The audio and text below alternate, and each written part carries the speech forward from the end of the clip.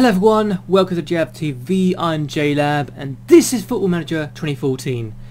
Now, please ignore the wage issue at the moment, that will soon be evaded once Paul Anderson gets sold to Portsmouth for 80 grand. Yes, I know it's less than his current value, but at the same time I don't think I can really care at this point. He's already got a good replacement in Darren Ramsey. Or Ramsey. So really, the thing was, he, I spent 300 grand to bring this guy in. Though currently I'm not sure if that's a good deal or bad deal. Even if he's got potential to be a leading championship winger eventually. But that's just me. And he had a good season last year in my division. It could be a different story this season. But that doesn't really matter as far as I'm concerned. He's got a good potential and I think I'll use it. We've had a few um, games in the friendlies. We haven't done that much in terms of results, but the, we took part in the Ashley Williams testimonial, which is a bit of a surprise. But hey, I can't complain. I got to take, I got to be part of it for once, even though I wasn't managing the um, team. But yeah, we've had a few signings. Had Carl Hammond, who I had on loan from Ipswich last year, I've now brought permanently now after impressing me last year round. He's got potential to be a leading championship right back and I'm happy to have him.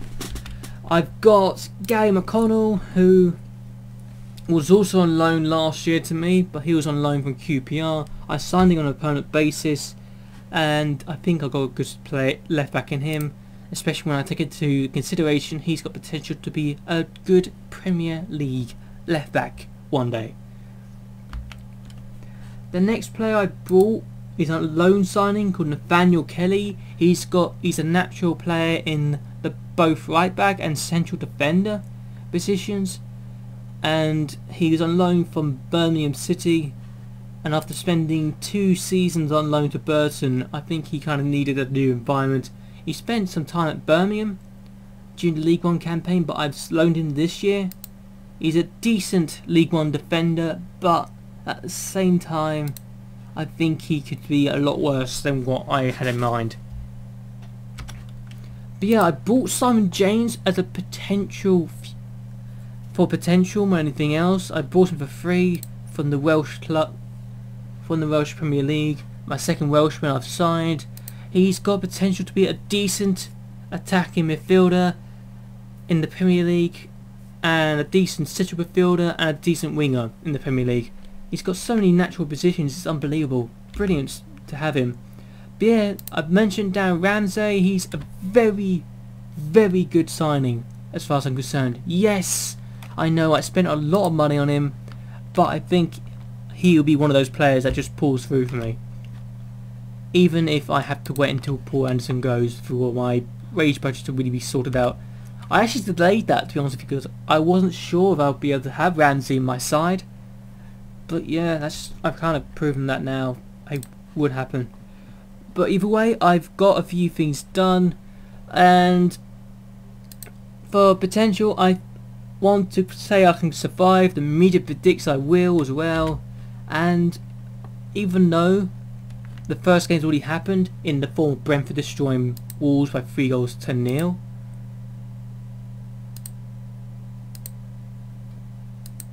What the hell?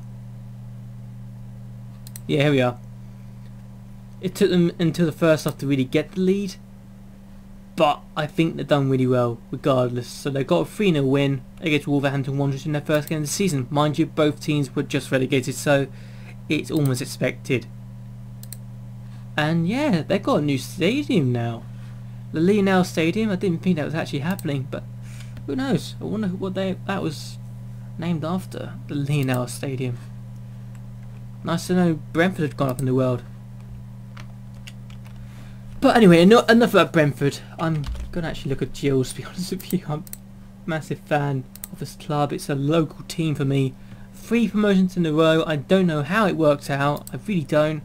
I wish I knew, really, but I don't.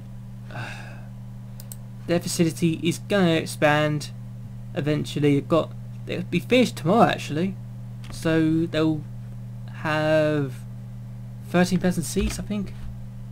But yeah. I hope that you've enjoyed this video regardless. I know I've rambled a bit about other things, but I can't help it. I'm excited about what's going to happen. And I hope that you will like and favorite this video, even though it's another summary video. I know some people hate these videos because they sum up and they're boring and not action like and not real well when I say real it's not something that you hear me interacting that much you don't hear me go and be part of the crowd really if that makes sense yeah anyway I hope that you'll subscribe to my channel it will really help me out a lot. So anyway until next time goodbye good night ta-ta